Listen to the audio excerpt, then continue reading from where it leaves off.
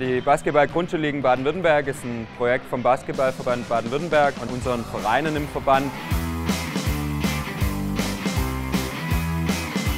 Die Vereine organisieren die Spieltage mit den Schulen, mit denen sie kooperieren, spielen dann dort äh, an vier bis sechs Wochenenden äh, ab Januar im Normalfall äh, eine kleine Liga aus und küren dann am Ende dieser Turnierserie dann auch den äh, Sieger auf der kommunalen Ebene. Was auch sehr wichtig ist bei uns, dass die Kids selber den Kampfgericht stellen können. Dann können sie selber die, die Punkte aufnehmen und ähm, den, den, die Zeituhr aufnehmen. Und sie machen es mittlerweile super gut.